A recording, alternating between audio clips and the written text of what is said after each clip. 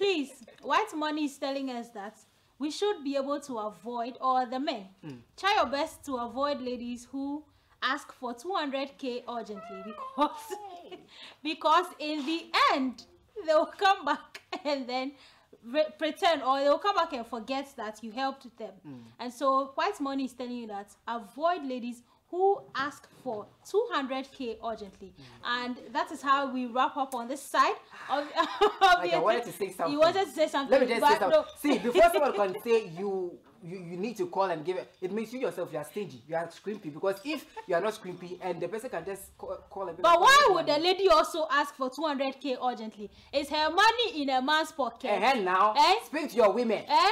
You need to stop eh? being uh, Your Dagomba princess is Jackie speaking Gins, to you. Nana Please. not like some uh, uh, artist rapper that